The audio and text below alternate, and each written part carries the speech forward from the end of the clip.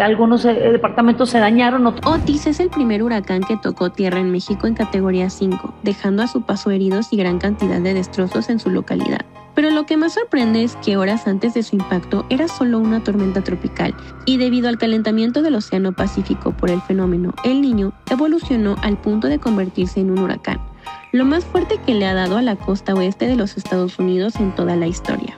Los daños han sido catastróficos, llegando a sacudir el famoso Hotel Princess que se encuentra frente al aeropuerto, el centro de Acapulco y la calle principal que conecta con la Ciudad de México. Se sabe que en cuestión de hoteles y edificios los daños han sido un 80% de todos los establecimientos. Yo diría una de las ciudades más importantes y más reconocidas en el mundo entero. Y más queridas por los mexicanos. De todo México. Hoy se reporta oficialmente 27 muertos y 4 desaparecidos, números que se dieron muy temprano. Sin embargo, aún no se sabe si la cifra aumente al llegar reportes de otros lugares. O sea, tenemos que, que unirnos como mexicanos y los mexicanos somos muy buenos para unirnos en las desgracias. Por otro lado, las plazas han quedado totalmente inundadas y las personas continúan trasladándose con lo poco que alcanzaron a tomar de sus pertenencias.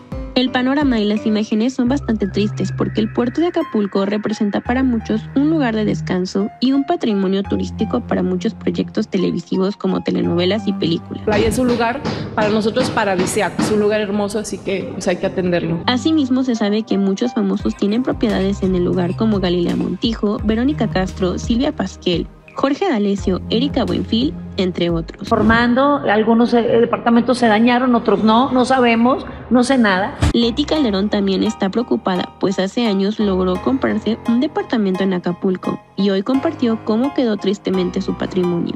Otros famosos como Verónica Castro, Roberto Palazuelos, Laura Bozo, Andrea Legarreta, felizmente no se encontraban ahí. Incluso muchos se preguntan qué habrá pasado con la casa de Andrés García que vivía pegado a la costa del mar. Y los famosos no se han quedado con los brazos cruzados, como Jorge Ortiz de Pinedo, quien pidió ayuda para los damnificados.